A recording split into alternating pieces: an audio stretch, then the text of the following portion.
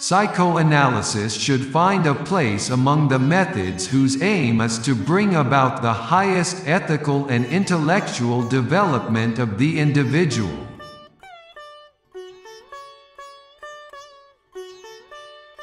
All family life is organized around the most damaged person in it.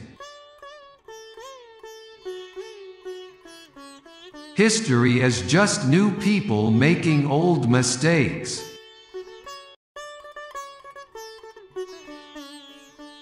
The ego is first and foremost a bodily ego. It is not merely a surface entity, but is itself the projection of a surface. Unexpressed emotions will never die. They are buried alive and will come forth later in uglier ways.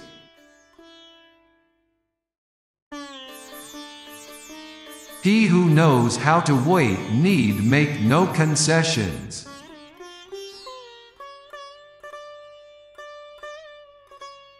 One day, in retrospect, the years of struggle will strike you as the most beautiful. Complacency is a state of mind that exists only in retrospective. It has to be shattered before being ascertained.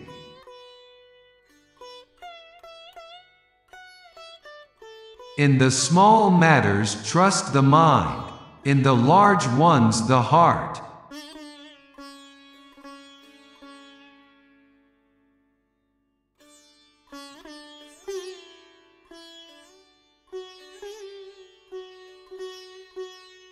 An overwhelming majority of symbols in dreams are sexual symbols.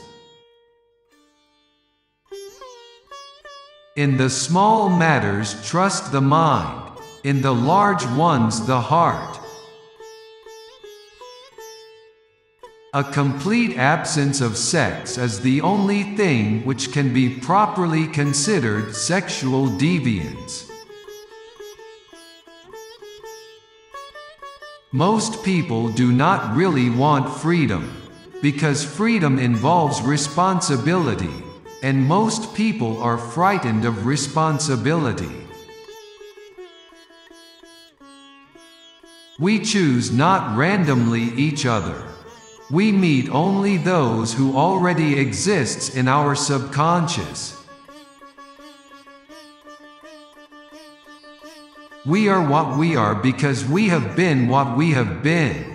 And what is needed for solving the problems of human life and motives is not moral estimates but more knowledge.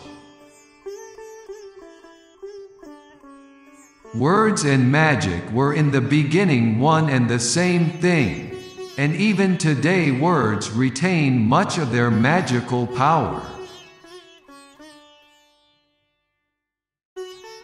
We are never so defenseless against suffering as when we love.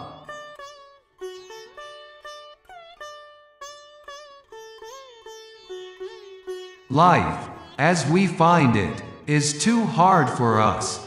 It brings us too many pains, disappointments and impossible tasks. Love and work are the cornerstones of our humanness. Children are completely egoistic. They feel their needs intensely and strive ruthlessly to satisfy them.